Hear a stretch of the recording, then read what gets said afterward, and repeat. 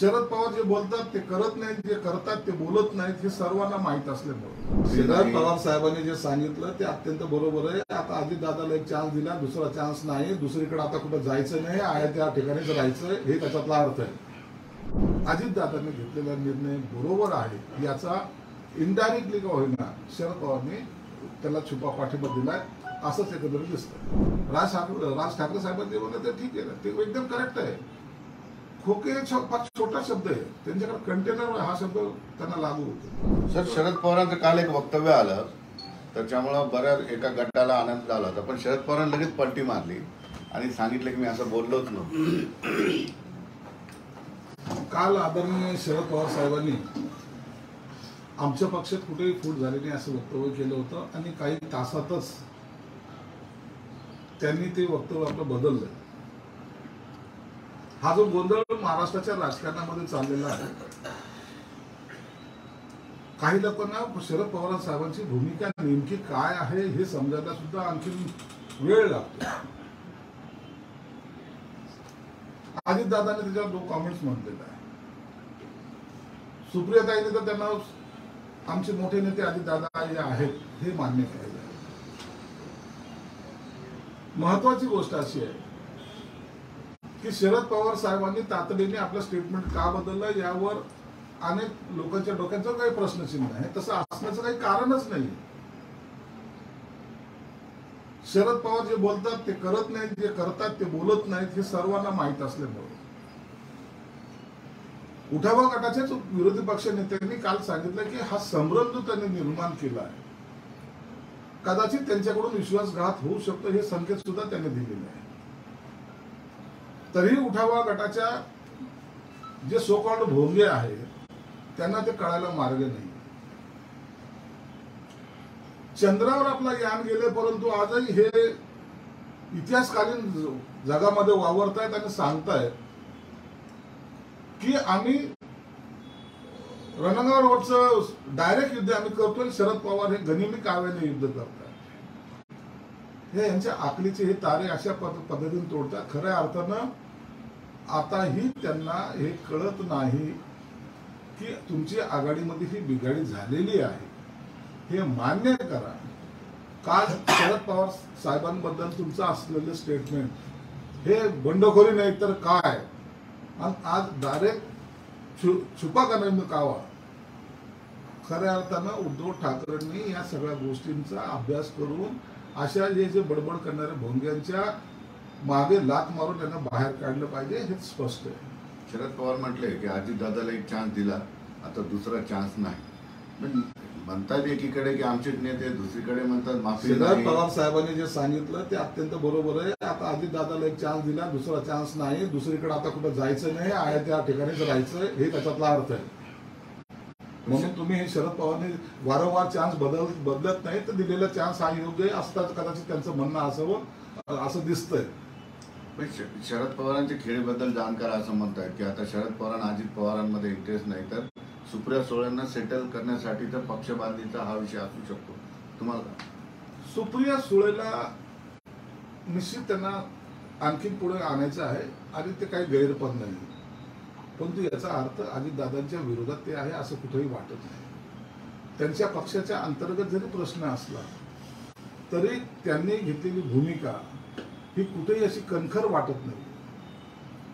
जर तुम्ही पाहिलं असेल तर विधानसभा अध्यक्षांनी सुद्धा सांगितलं की कोणतंही बंडखोरीचं पत्र माझ्याकडे प्राप्त झालं नाही किंवा कुणावर कारवाई करायचं प्र- पत्र माझ्याकडे प्राप्त झालेलं नाही. एकीकडे पत्र दिल्याचं सांगतात एकीकडे पत्र नाही दिल्याचं विधानसभा अध्यक्ष सांगतात. यामध्ये खऱ्या अर्थानं कोण कोण कुणाचं खरं आहे हे समजायला सुद्धा संभ्रम जो म्हणतात तो निर्माण झालेला आहे. म्हणून काही दिवस या राजकारणामध्ये या सगळ्या गोष्टीची वाट पाहायला जरूर लागणार आहे. परंतु अजितदादांनी घेतलेला निर्णय बरोबर आहे याचा इनडायरेक्टली का होईना शरद पवारने त्याला छुपा पाठिंबा दिलाय असंच एकंदरीत दिसतंय. शरद पवारांची उद्या सभा शरद पवारांची आधी बीडला झाली. उद्या अजितदादांची मोठी उत्तर उत्तर सभा म्हणून होणार आहे. कसं बघताय या खेळाकडे? शरद पवार साहेबांची बीडला सभा झाली. तो भाग वेगळा होता परंतु काल धनंजय मुंडे साहेबांनी सुद्धा स्पष्ट केलं की ही उत्तर सभा नाही. तर बीडच्या विकासाच्या प्रश्नावर आम्ही ही सभा घेतो. निश्चित काही राजकीय मुद्दे त्यात निघायची शक्यता आहे. परंतु ही उत्तर सभा वगैरे नाही. शरद पवार साहेबांना चॅलेंज करण्याची ही सभा नाही. एक आहे की आता उठावा गटाची हिंगोलीला काही सभा होते असं ऐकलंय. त्यांनी बी आता सर्वच मैदानात आहेत तर आपण घरी कशाला बसायचं? म्हणून त्यांनी एक हिंगोलीत घेतलेली सभा आहे. आणि त्या सभेचा मला नाही वाटत काही परिणाम होईल. खऱ्या अर्थानं लोकांना काय पाहिजे? लोकांच्या आपल्याकडून अपेक्षा काय? आहेत? यासाठी परभणीला जे शिंदे साहेब जे कार्यक्रम घेत आहेत सरकार आपल्या दारी. त्याचा प्रतिसाद जर तुम्हाला पाहिलं पाहिला तुम्ही जर तर त्या समोर या सर्व सभा वगैरे ज्या आहेत ही फिकी पडणारी हे निश्चित आहे. तुमच्यावरच हल्लाबोल करण्यासाठी ती सभा आहे. गद्दारांना उत्तर देणार अशा पद्धतीचं टीजर वगैरे पण येत आहे गद्दारांना उत्तर देणार. पन्नास खोके ओके. म्हणा ना आजी दादाला हिंमत आहे का? ताकद आहे? हा? तुम्ही केलेली गद्दारी ही महाराष्ट्राने पाहिली त्याच्यामुळं शिवसेना प्रमुखांनी निर्माण केलेली संघटनेचे वाटोळ तुम्ही लोकांनी केले स्वतःचं घर भरण्यासाठी शिवसेना प्रमुखाचे विचार ज्यांनी विकले ते आमच्या विरोधात बोलणार आहे आता महाराष्ट्र जाण्याला लागलं म्हणून आता याच्या तोंडातून हे वाक्य सुद्धा आता बंद झालेली लोकांना जाणीव झालेली की यांनी अडीच वर्षामध्ये काय केलं. ती जर मीही पाहिला माझ्याकडे आता काही नाही देण्यासारखं. तरी तुम्ही माझ्या बरोबर आहात. अडीच वर्ष होतं तेव्हा काय दिलं? आहे का दोन चार नाव असे? अडीच वर्षाचा कालखंड हा छोटा कालखंड असतो जेव्हा होतं तेव्हा दिलं नाही जेव्हा नाही तेव्हा तर काय देणार म्हणून असे टीजर प्र- प्रदर्शित करून लोकांच्या मनावर आता तुमचा परिणाम होणार नाही तेवढं खरं आहे. उद्धव ठाकरे काय खरंच काय नाही? काय आहे की नाही आता ते नंतर काय दिसून बाहेर नाही गेले. काही दिवस थांबा. काय आहे काय नाही काय ठेवलंय काय दडवलंय काय लपवलंय हे सगळ्या गोष्टी. काही दिवसांत बाहेर येतीलच ना. कार्यकर्ते नाहीत का पक्ष चालवण्यासाठी पैसा नाही? त्यांच्याकडे कार्यकर्ते नाहीत हे तेवढं सत्य आहे. पण पैसा नाही असं म्हणायची हिंमत माझ्यासारखा कार्यकर्ता करूच शकत नाही ना. कारण की आम्हाला त्यातलं सगळं माहीत असल्यामुळं आम्ही असं हिमतीने असं विधान करू शकत नाही. ते विधान किती खरं किती खोटं काही दिवसांत कळेल. लपवलंय दडलंय काय याच्या मागचा नाही. हे अख्ख्या महाराष्ट्राला माहिती आणि त्यांना स्वतःला माहिती. म्हणून काही दिवसांना या गोष्टीचा सगळा साक्षमक्ष होईल. आपण किती खोटं लोकांशी बोलतोय हे जेव्हा लोकांसमोर येईल त्या टायमाला लोकांचे रिॲक्शन निश्चित तुम्हाला जाणवतील. ओके? पन्नास खोके या वक्तव्यावरून राज ठाकरे यांनी त्यांच्या भाषणात म्हटलं होतं की जे लोक म्हणतात की पन्नास खोके त्यांच्याकडे ट्रॉली आहे. कंटेनर आहे. कंटेनर कंटेनर हे सत्य आहे ना म्हणून तर सांगितलं ना. आउटगोईंग नको इनकमिंग पाहिजे. हे जे तुमचं तत्व आहे ना या तत्वामुळे या पक्षाची अशी दुरवस्था झालेली झालेली आहे.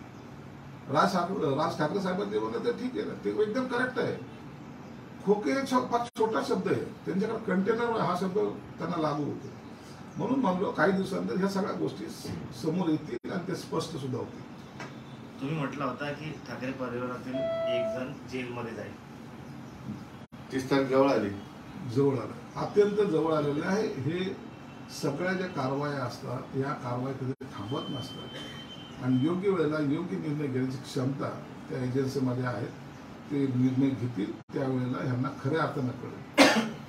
आणि त्यावेळेला जेव्हा यांच्यावर कारवाई होईल त्या टायमाला चुकून संजय राऊत हा पेढे वाटत ना फिरो हे एवढं फक्त त्याच्याकडे लक्ष ठेवावं लागेल.